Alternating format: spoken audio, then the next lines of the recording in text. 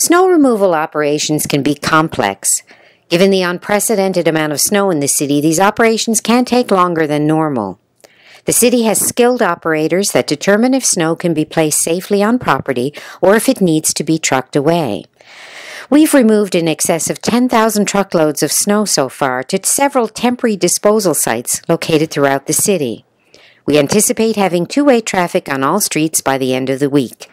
The next step is to create space for snow for future snowfall as our winter continues for many more weeks to come.